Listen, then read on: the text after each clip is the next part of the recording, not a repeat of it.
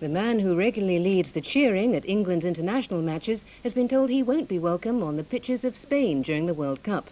The Football Association have written to Mr Ken Bailey to say the national fervour he whips up could encourage trouble from the England fans. Mr Bailey says he hasn't missed an England international in 20 years. He thinks the FA are being too harsh. He says he'll be going to Spain to support England regardless. I feel that there is absolutely no no reason to worry about me at all. I, create happiness and, and no hooliganism. And so to the main points again. International criticism is growing of the decision by 12 English cricketers to play in South Africa. Police searching the hijacked Tanzanian jet at Stansted have found more weapons. And that's it from me. John Humphrys will be here at 9 o'clock.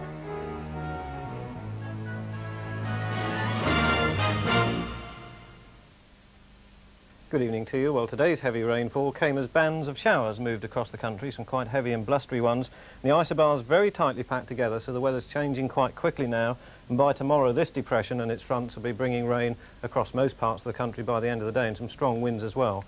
So let's have a look at tonight's chart now because there are still some showers around, most of them in western areas, but there's one of those bands of showers working its way across central parts of the country. I think most of those will have gone by the morning, just leaving showers around the coast, temperatures low enough to give a touch of frost later tonight with some icy patches on the roads, and tomorrow turning out to be a fairly wet and windy day for western areas with some quite heavy rain reaching the southwest by the middle of the day, and then as the cloud thickens up further east, it's going to bring its rain to many western and some southern parts, I think, by the end of the afternoon. The sunshine in eastern areas hanging on for a time, but I think even there we'll find some rain turning up during the course of tomorrow evening, and once again that rain certainly turning out to be heavy just about anywhere tomorrow, still left with some showery weather up in the far north, but breezy everywhere. That's it.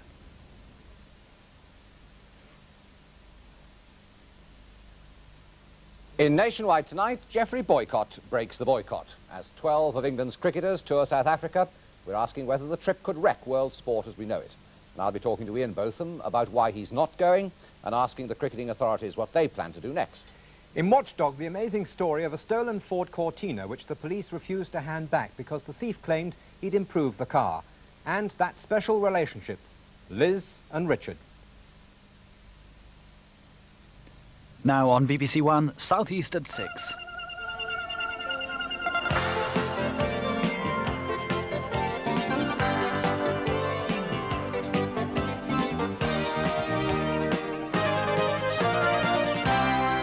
Hello, in Southeast at 6 tonight, a new scheme to help the mentally handicapped find a future in show business. The continuing debate on fox hunting after Berkshire Council banned the hounds.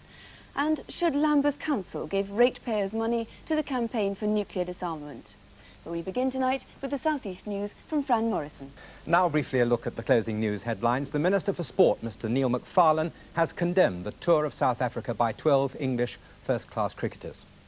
Police have found more weapons on board the Tanzanian airliner, which was hijacked to Stansted Airport in Essex. And that's it. Frank? Well, that's it for this Monday, and finally a very uh, warm vote of thanks and a very happy St David's Day to all our Welsh viewers. We'll be back, of course, tomorrow at the usual time. Goodbye now.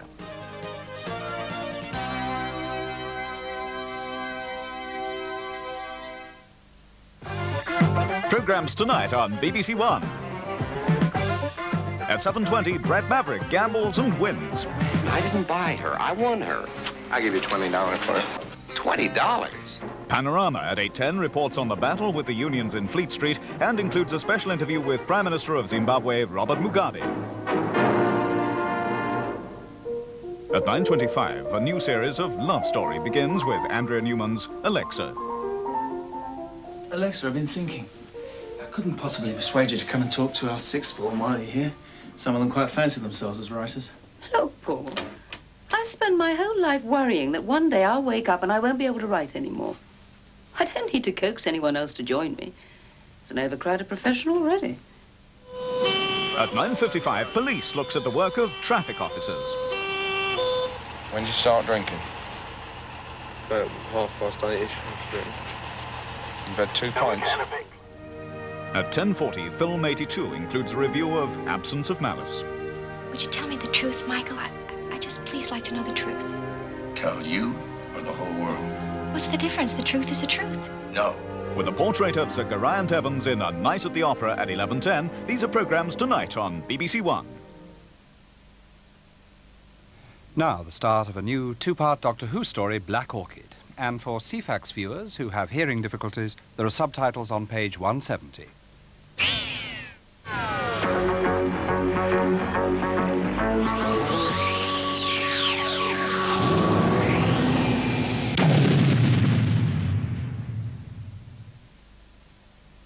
The second and final part of Black Orchid can be seen tomorrow at five past seven. Tomorrow night, Dick Emery presents Legacy of Murder. What's the damage, Chief? Well, the parts I can let you out cheap. Oh. Seeing as how I had 'em in stock, £10.50. Oh, it's very reasonable. Plus labour, 40 quid. That's a bit steep, isn't it? Well, the best thing you can do, sir, is have a word with the local constabulary. Oh, well, where is he? A couple of miles down the road. Right. My cousin George. Dick Emery, tomorrow at 8 o'clock on BBC One. A lucky day. Or is it? Now for Bret Maverick.